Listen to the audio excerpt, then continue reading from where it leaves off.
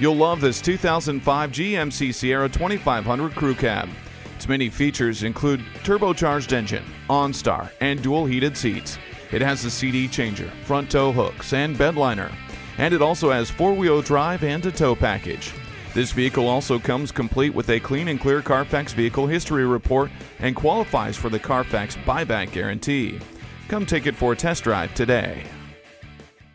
Bandera Auto Center is located in the heart of the Texas Hill Country at 4333 Highway 16 South in Bandera, Texas.